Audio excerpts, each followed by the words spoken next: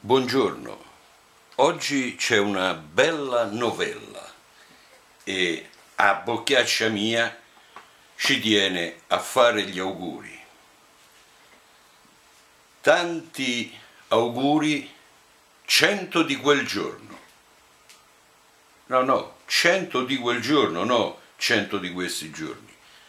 Cento di quel giorno e il giorno è il 14 giugno 2017. Poi, a parte, vi spiegherò di chi è una giornata meravigliosa, quel 14 giugno 2017. A più tardi, ma per ora tanti auguri a te.